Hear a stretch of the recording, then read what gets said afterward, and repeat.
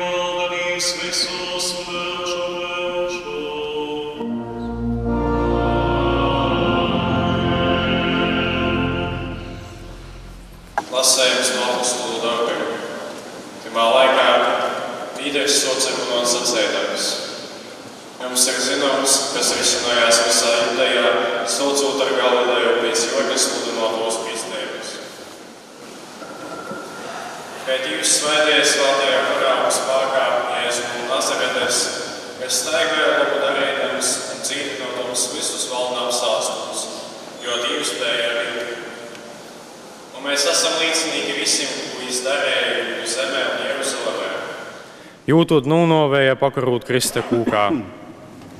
Dievs jū uzmūdināja trešajā dīnā un ļāva viņam pasarodēt, tomēr ne visai tautai, bet gan Dieva izvēlētim līdzniekiem, mums, kas kopā ar jū ēdam un dzēram pēc jū augšām celšanos no mirūņiem.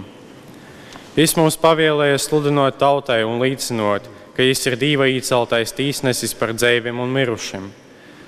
Par jū līdzināja visi pravīši, ka ik viens, kas tic jām, sajam jo vārdā grāku pīdūšanu. Tie ir svātu rakstu vārdi. Pateicība Dievam! Širdīna,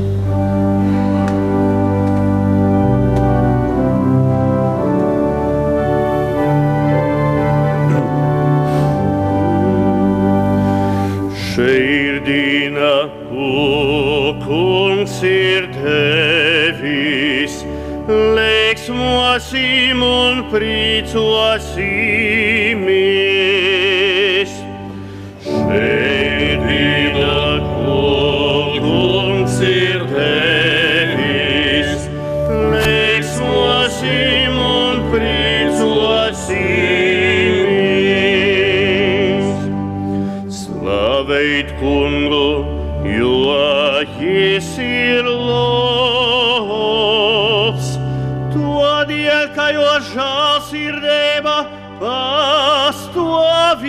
Mūžam, lai Izraels tagad saka, jis ir labs jo žēlsirdība pastāv mūžam.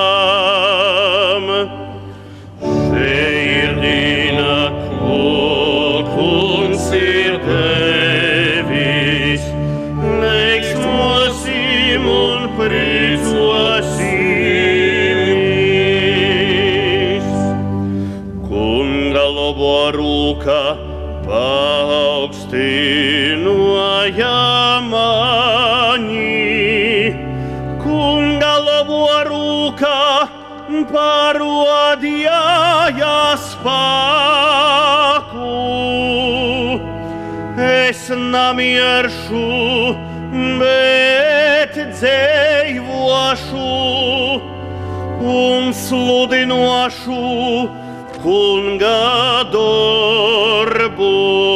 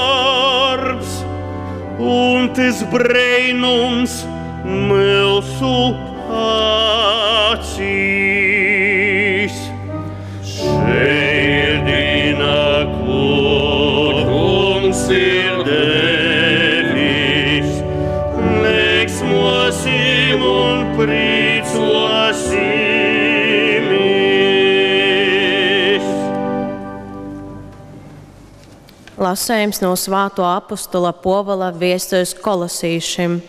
Broļi, jo jūs kopā ar Kristu esat augšām cēlušies, tad meklējiet to, kas ir augšā, kur Kristus iet pie dieva labos rūkas. Domājiet par to, kas augšā, nevis par to, kas virs zemes. Jūs taču esat miruši, un jūsu dzīve ir ar Kristu apslāpta dīvā. Kad pasarodēs Kristus jūsu dzīvēba, tad arī jūs līdz ar jū pasurodēsit gūdējībā. Tie ir svāto rakstu vārdi. Pateicība Dievam! Oi, Kristīši, šimos līksmājus svētkos, un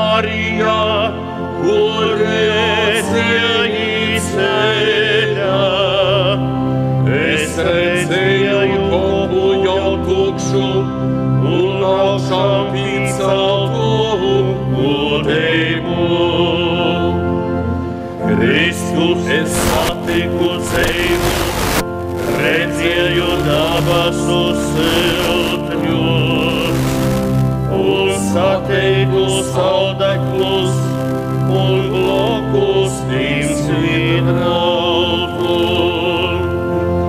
Augšām cēlīs ir Kristus,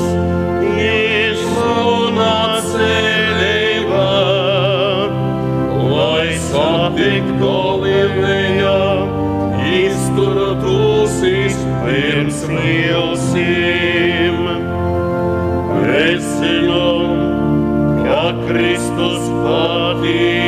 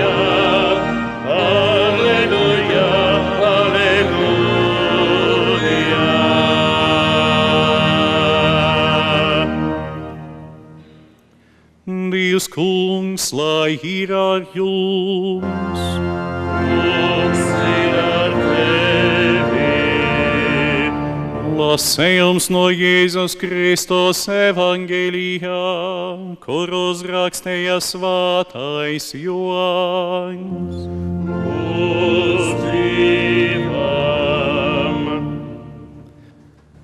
Nedēļas pirmajā dīnā Marija Magdalēna agri reitā, cikam vēl bija tims, atnāca pie kopa un ieraudzīja, ka akmeņs no kopa ir atvalts. Tad es krīšus, devēs pie sēmaņa Pītera un pie otro mocekļa, kuru Jēzus mīļoja, un jums sacīja: Kungs ir paimts no kopa, un mēs nezinām, kuris ir nūlikts. Tad Pīters un tas otrs moceklis izgoja orā un devēs uz kopu. Iobi skrieja reizē, tomēr šis otrais moceklis aizskrēja otro un pie kopa nūnoca pirmais. Pīsaļīcis izraudzīja noliktus audeklus, bet īkšā nagoja. Pēc tam jam sekodams atnāca arī Sēmans Pīters un īgoja kopā un redzēja noliktus audeklus un svīdrautu, kas bija uz jo galvas, noliktu nevis kopā ar audeklim, bet atsevišķi sateitu vīnā vītā. Tad arī otrais moceklis, kas pie kopa bija nonācis pirmais, īgoja īkšā un redzēja un īticēja, jo līdz tam īvēl nebija sapratuši rakstus, ka jam vajadzēja pīzacelt numerūņiem. Pierwszego dnia po sabacie, wczesnym rankiem, gdy jeszcze było ciemno, Maria Magdalena udała się do grobu i zobaczyła kamień odsunięty od grobu. Pobiegła więc i przybyła do Simona Piotra oraz do drugiego ucznia, którego Jezus kochał i rzekła do nich. Zabrano Pana z grobu i nie wiemy, gdzie go położono. Wyszedł więc Piotr i ów drugi uczeń szli do grobu.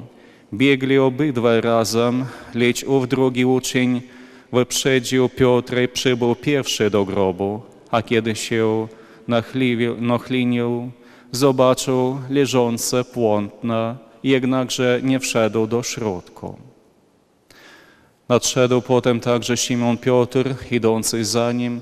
Wszedł on do wnętrza grobu i ujrzał leżące płótna oraz chustę, która była na jego głowie, leżącą nie razem z płótnami, ale oddzielnie zwiniętą w jednym miejscu. Wtedy wszedł do wnętrza także i ów drugi uczeń, który przybył pierwszy do grobu. Ujrzał i uwierzył. Dotąd bowiem nie rozumieli jeszcze pisma, które mówili, że on ma powstać z martwych. Ir svātu rakstu vārdi.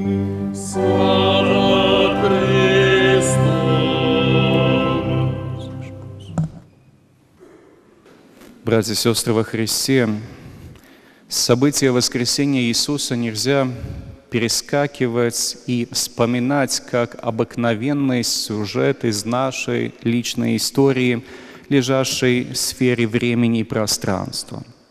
Дорогие, воскресение из мертвых означает, что Иисус всем своим существом перешел в божественный мир. Однако мы сумеем понять события воскресения Иисуса, опираясь на наши знания о земной жизни Иисуса. Воистину мы исповедуем, что Бог воскресил Иисуса из мертвых. Таково наше понимание структуры керигмы, первоначальной проповеди христианства, то есть проповеди самой сути веры, как показано в отрывке из деяний апостолов. Уважаемые прихожане, Мария Магдалина приходит к гробу Иисуса, как мы читали, рано поутру, когда было еще темно. Тьма, темнота для евангелиста Иоанна – символ учений, противоречи- э, противоречащих истинной жизни. Мария продолжала думать, что смерть означает конец всего существа. Ее глаза по-прежнему были закрыты покровом идеологии смерти, мирозрения, в котором последнее, заключительное слово жизни человека принадлежит смерти. Она еще не знает, что наступил день и воссиял свет. Она уверена, что смерть одержала окончить- окончательную победу. Но увидев, что камень, закрывавший вход в гробницу, отдвинут, она, следуя своим убеждениям, пришла к выводу – унесли Господа. Именно это она сообщила Петру и второму ученику, которого любил Иисус, то есть всей общине учеников. На то указывает местоимение «мы». Это мы не знаем, где положили его. Вся община апостолов приходит в смущение, но несмотря на сомнения, апостолы отправляются на поиски Иисуса. Как говорится в Священном Писании, Петр и второй ученик бегут к гробу. Но вопрос, к кому они бегут, куда они бегут, к мертвому или живому, живому Иисусу. Этого они еще не знают, но любовь к Иисусу влечет их к гробу. Любимый, любимый ученик Иисуса прибегает первым, однако позволяет Петру первым войти в гробницу. Петр видит погребальные, погребальные пелены и плат. Пелены лежат на земле, а сложенный плат поддаль. Эти знамения никак не могут говорить о смерти, ибо пелены не, э, не обвивают мертвого, Следовательно, Иисус жив.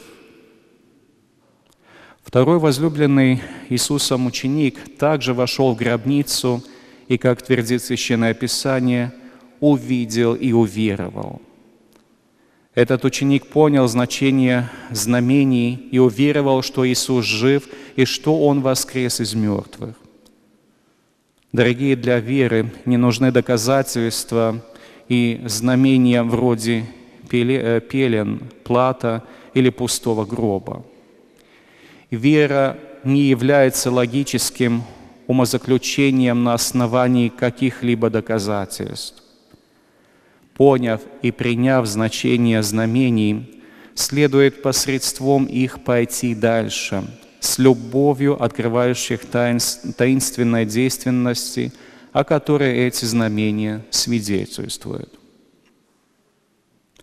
То, что Мария Магдалена и ученики не поняли знамений, и их слова не, знает, не знаем, было в том числе следствием отсутствия подлежащего понимания священного писания. Как напоминает нам евангелист, ибо они еще не познали из Писаний, что ему надлежало воскреснуть из мертвых. Это означает – что восприятие понимания Божия Слова приводит к, к обнаружению воскресшего Господа и к вере в Него. Однако любимый ученик Иисуса, узрев знамение, пришел к вере, к воскресшего, даже не зная значения Писаний. Братья и сестры во Христе, отныне наша жизнь кроется вместе с Христом в Боге – мы уже идем по следам воскресшего, ибо вера и крещение дали нам возможность уже здесь, на земле, участвовать в Его новой жизни. Наша жизнь всецело зависит от Христа, ибо только Он дарует нам возможность осмысленной, счастливой и полноценной жизни, ныне и в вечности. Он – наша жизнь. Cienījamā draudzene, kad apustulis Pēteris vēstīja par Jēzus nāvi un augšām celšanos, iespējams, ka klātesošo klausītāju reakcija bija pat noraidoša. Un, ziniet, to nebūtu grūti saprast, kāpēc, ļaudis, var, kāpēc tas ļaudīs varētu izsaukt neticību. Piemēram, grieķi tumsas un vienaldzības pasaulē meklē gaismu, bet kādu gaismu mums var dot šis krustā piekaltais? Arī šodien Jēzus pie krusta izsauc dažādas reakcijas. Ja kāds runā par pestīšanas tēlu, cits saka, es labāk izvēlētos smaidīgo būdu. Kāds cits atkal saka kristiešiem, noņemiet no, kris, no krusta to jūsu piesisto jēzu. Ziniet, viņiem mēs varētu atbildēt, ka par to jau ir padomājis pats Dievs. Tēvs, kas ir debesīs, piecēla viņu no mirušajiem. Kādā veidā varam pierādīt mūsu vārdu patiesību? Ziniet, pierādījumu nav, kas apstiprinātu šo notikumu. Mums ir tikai evaņģēlie vēsts, kas runā par tukšo kapu un tā Jēzus parādīšanos, kas savu dziedinātāju un sprediķotāja avantūru nobeidz ar nāvi pie krusta. Pirmajā nedēļas dienā, tas ir šodien, kāds dodas pie kapa. Tā ir Marija Magdalēna. Viņa atklāja, ka akmens no ieejas ir atstumts. Tad viņa steidzas paziņot Pēterim un Jānim, ka redziet, kāds ir izzadzis Kristus miesas. Šķiet, neviens no viņiem pat nevar iedomāties par augšām celšanos. Bet, dārgie, tā ir sieviete, kas kļūst par pirmo liecinieci pierādījumu trūkumam, ka Jēzus ir miris. Tā ir viņa, kas pirmā pavēsta par Kristus augšām celšanos visiem citiem. Un tāpēc rodas jautājums, vai pietiek ar tādu stāstījumu, lai cilvēki varētu pieņemt jau tā neizprotamo Kristus augšām celšanos. Daži runā par mītu, kurš vairs nav attiecīgs mūsu laikmetam, jo mēs galu galā dzīvojam saprāta periodā. Vai nebūtu pienācis laiks atbrīvot kristietību no visām teikām, pasakām un paturēt tikai to mīlestības vēsti, ko Jēzus ir atstājis evaņģēlijos? Taču jau apustulis Pāvils savā laikā kategoriski ir noraidījis šāda veida pārmetumus teikdams: Ja Kristus nav augšām cēlies, tad velta ir jūsu ticība. Citiem vārdiem sakot, Ja mēs atmetam augšām celšanos, mēs atmetam visu. Evangelijas paliek vien par skaistu pasaku. Pestīšana nav iespējama, un nāve paliek aizvien neuzvarēta. Tāpēc, darbie klātesoši, atgriezīsimies pie jautājuma, kā ir iespējams ieticēt augšām celšanās, augšām celšanās brīnumam. Ziniet, mums ir jābūt gana drosmīgiem pateikt, ka tam nav pierādījumu, bet ir liecinieki. Evanģēlijā ir atrodami vīri un sievas, kas liecina par tukšo kapu, kas liecina par to, ka redzēja kungu dzīvu un kopā ar viņu ēda un dzēra. Jēzus uztic šo vēsti mūsu brīvībai un mūsu ticībai. Ticība sevi baro nevis ar pierādījumiem, bet ar mīlestību. Ir kāds, kas var mums palīdzēt ticēt, un tas ir Pēteris, kas iepriekš baiļu pārņemts, bet tagad sludina laukumos. Tas ir svētais Stefans, kas pirmais pieņem mocekļa nāvi un piedod saviem slepkavām. Ja neticat augšām celšanai, tad vismaz ieticiet pēdām, ko tās ir atstājusi ticīgos sirdīs un dzīvēs. Ja Kristus ir uzvarējis nāvi, tad mūsu dzīvē ir pilnīgi jauna vērtība. Tiek atgriezta zaudētā cerība, un sirdī dzimst vēlēšanās liecināt arī citiem. Tāpēc uzdodam jautājumu, kā mēs varam runāt par augšām celšanos cilvēkiem, kas ir skeptiski noskaņoti vai ir vienaldzīgi? Ziniet, atbilde ir vienkārša. Tāpat kā to darījumā apstuļi, vispirms ar savas dzīves liecību.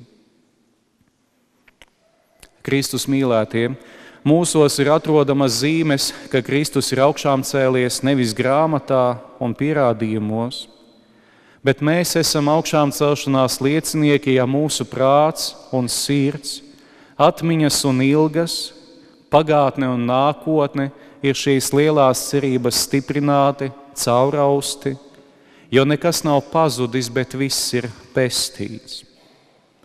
Augšām celšanās nav manta, ko glabāt mūsu esamības bagāžā, bet gan tas, ko lieto tik dienas.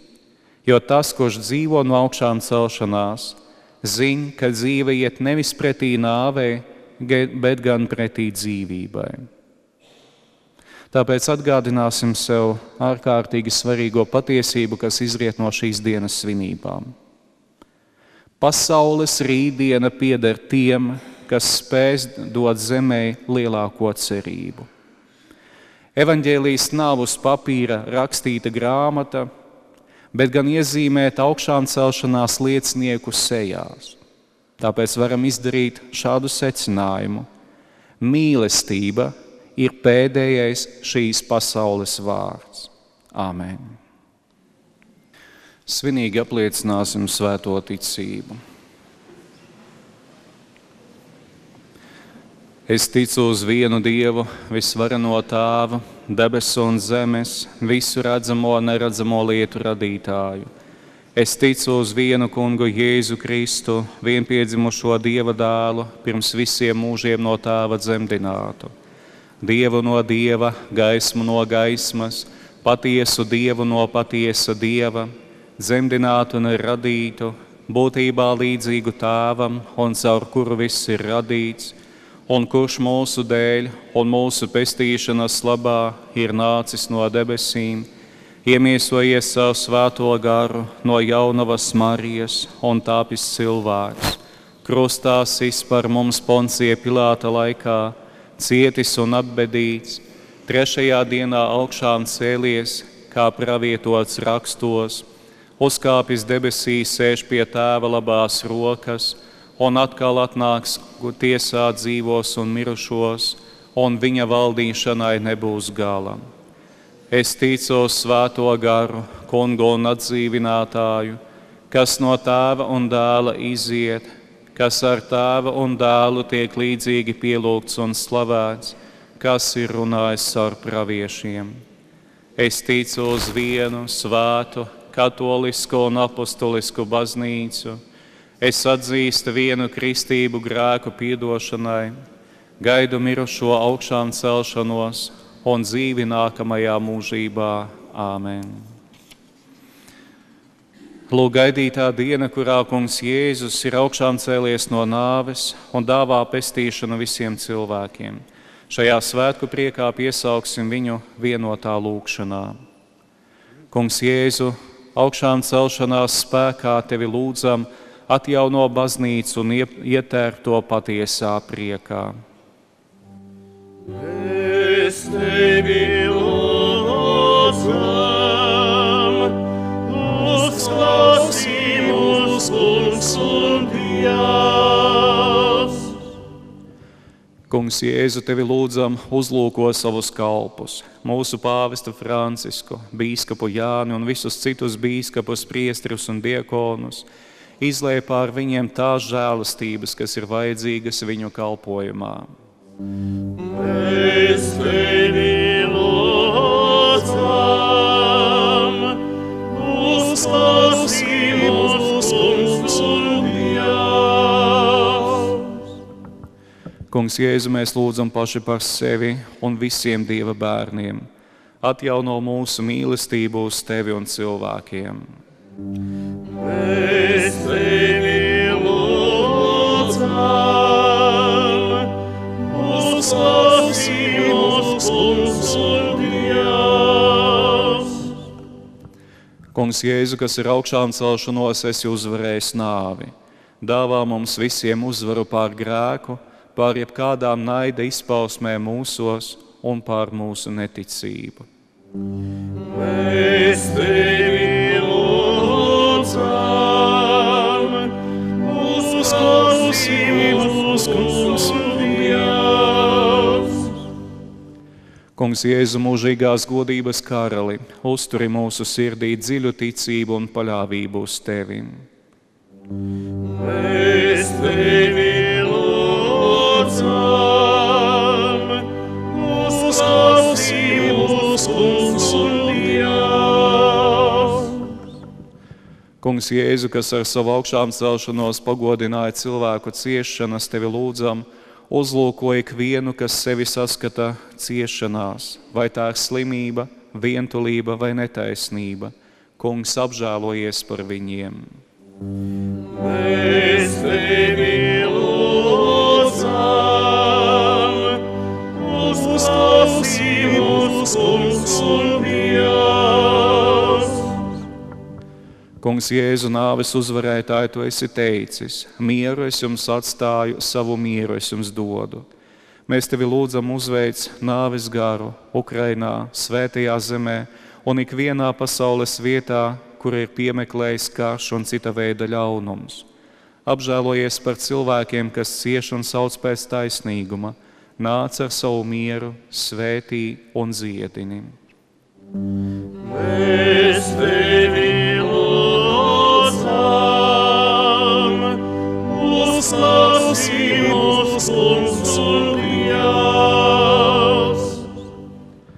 Kungs Jēzu augšām celtais Dieva dēls uzlūko mūsu zemi Latviju un atjauno ticības un cerības spēku Latvijas sabiedrībā.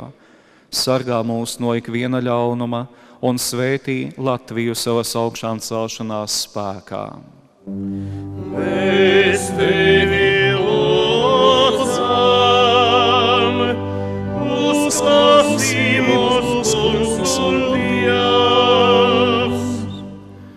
Kungs, Jēzu, tevi lūdzam ar savu svētību apmeklē ikvienu, kas rūpējās par mūsu dievnamu. Stiprini viņu spēkus, vairo ticību, dāvā līgsmības iemeslu un sargā viņus pestīšanas ceļā.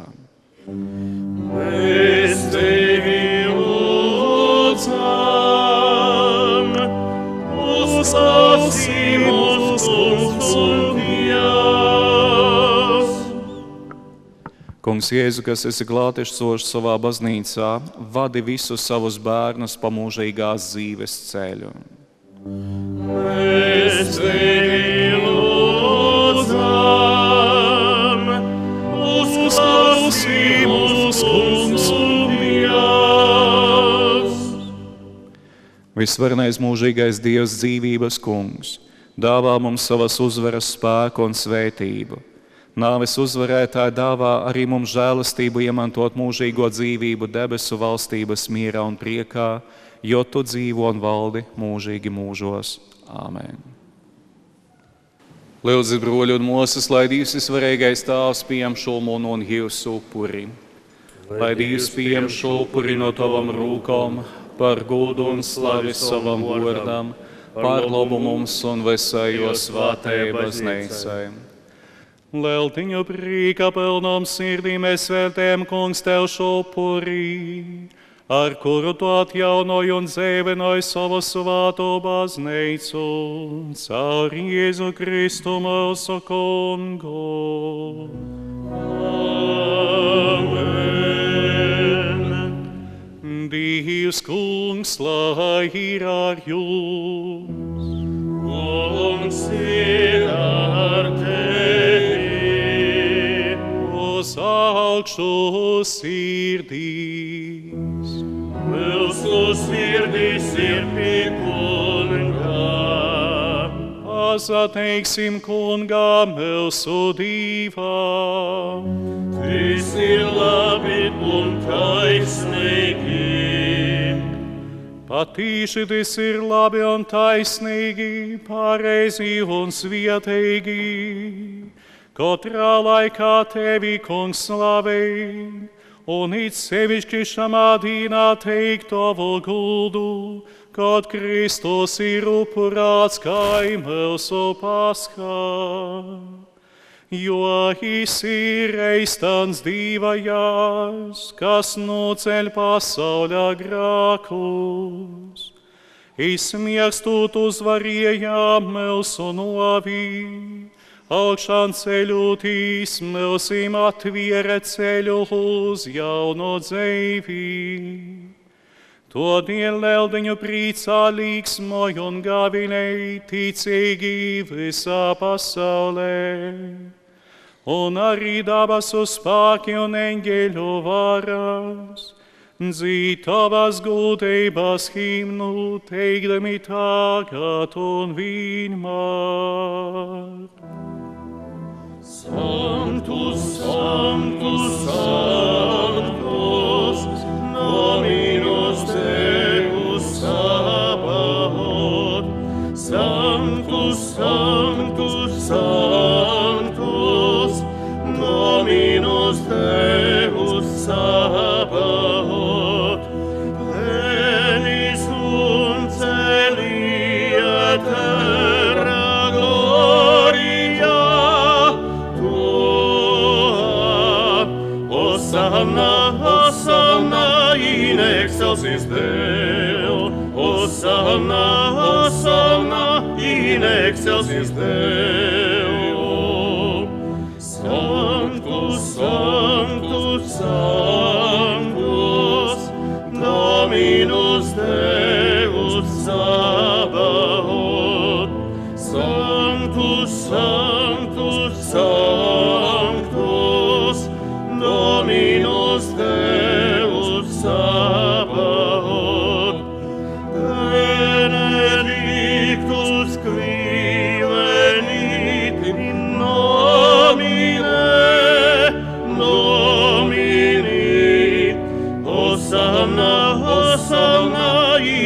in excelsis Deo. Hosanna, Hosanna in excelsis Deo.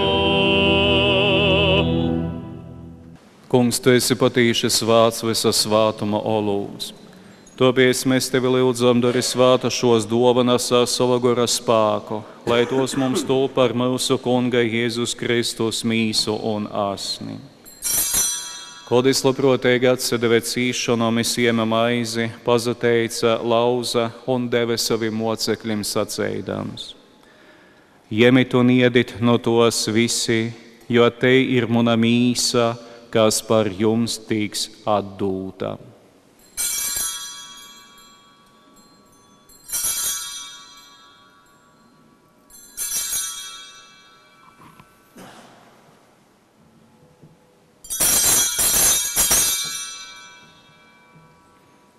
Tāpat pēc vakariņām izsiema arī biķeri, pazateica vēlreiz un deva saviem mocekļiem sacēdams.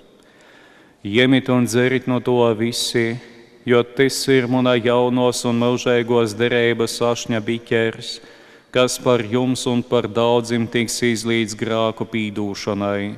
Dorit to manai pīmiņai.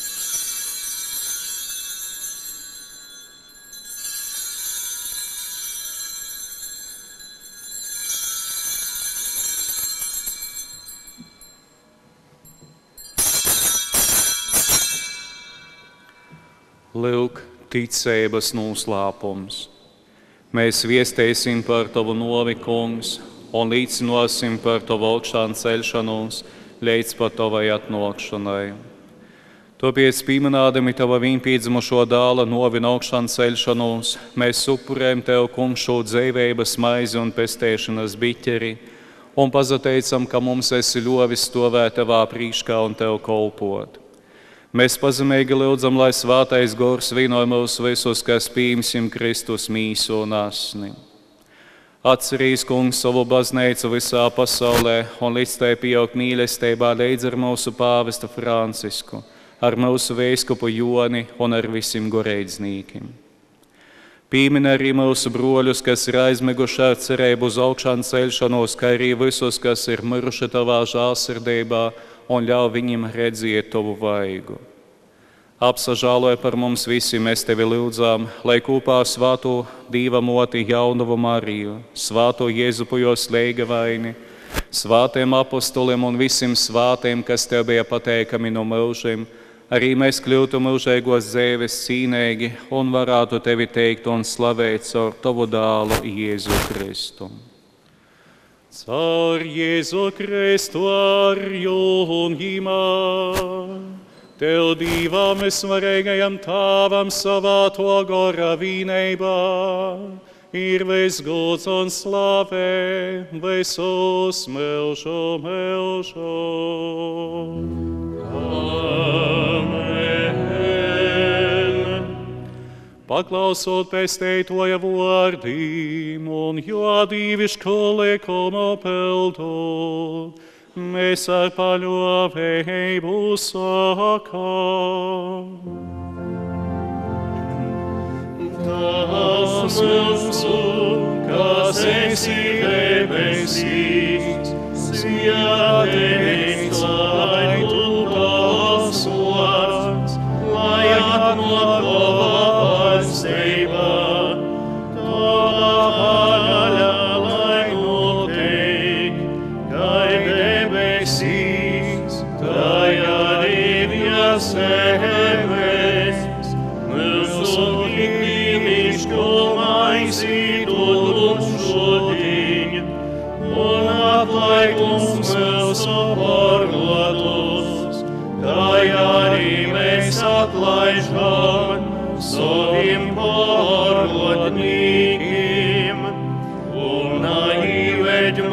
mūsu kārdinošanā, bet atpestī mūsus no ļaunā. Atpestī mūsu kungs no visa ļauno, dod lieldzā mīru mūsu dīnos, lai ar tavu žēlestību mēs būtu pasargoti no katras nelaimes un grāka. Drošā cerībā gaidu, atnāka mūsu pestītoju kungu Jēzu Kristu. Jo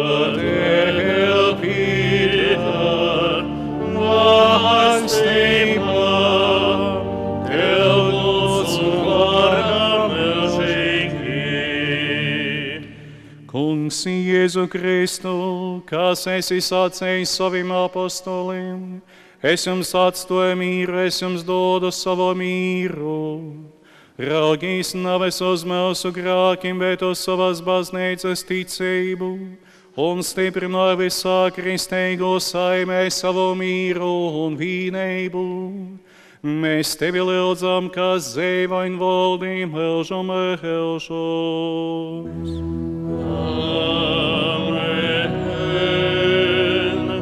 Lai divā mīrs ir ar jums vienmēr.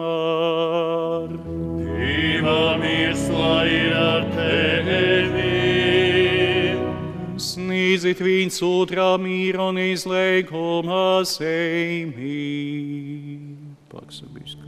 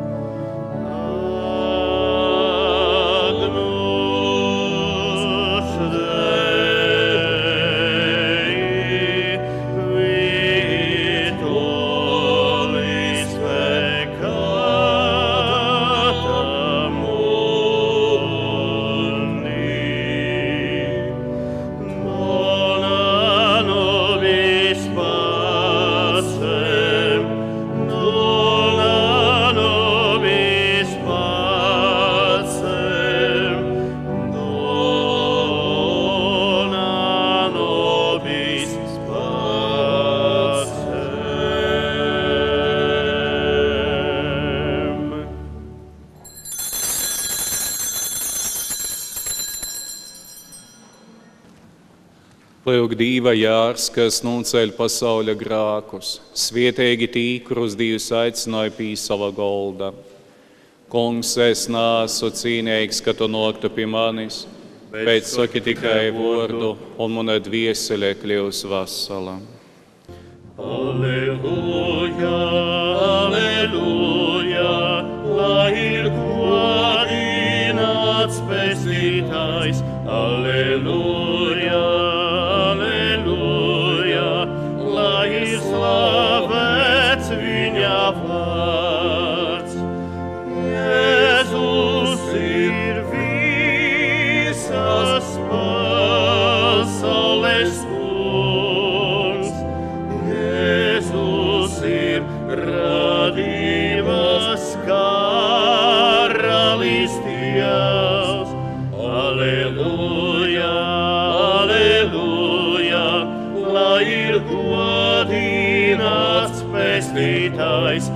Aleluja, aleluja, lai ir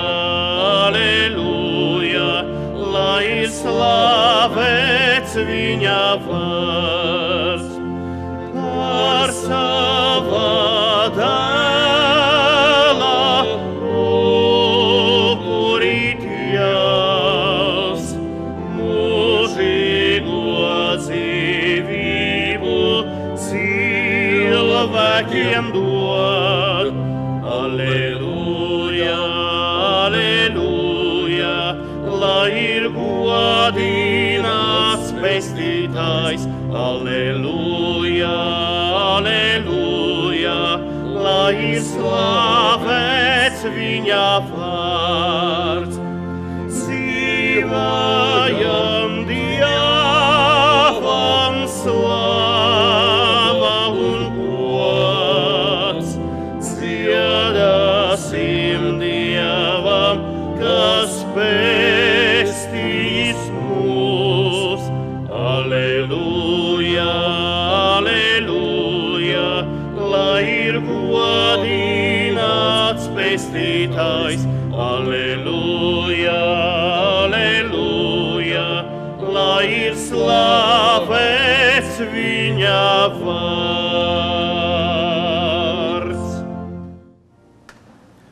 Kristus ir upurāts mūsu pestēšanai, tāpēc sviniesim svētkus ar skaidrības un patīsības naraudzāto maizi. Alleluja!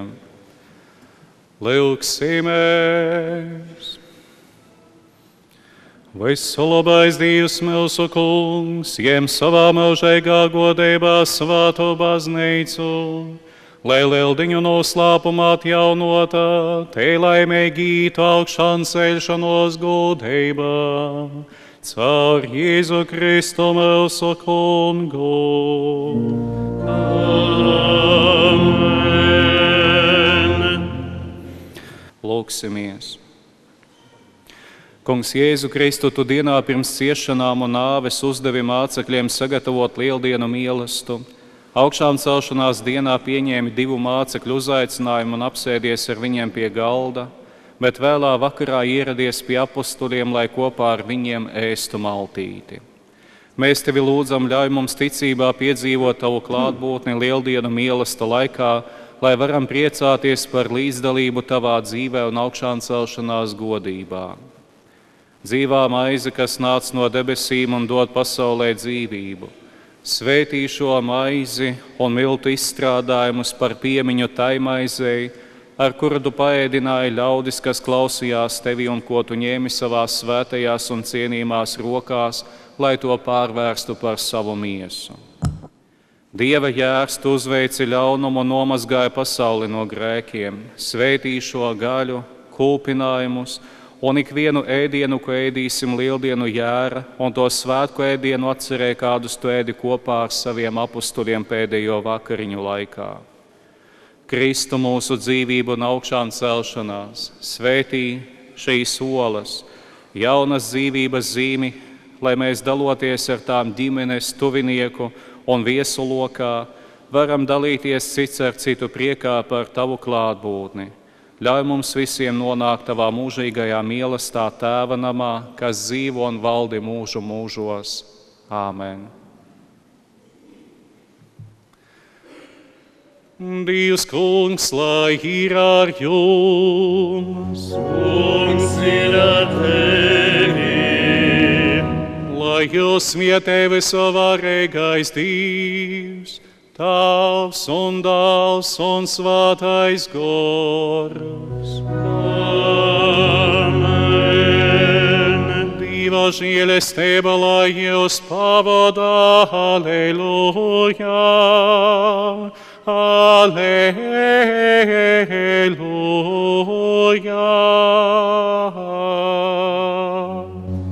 Pateicība Dievam.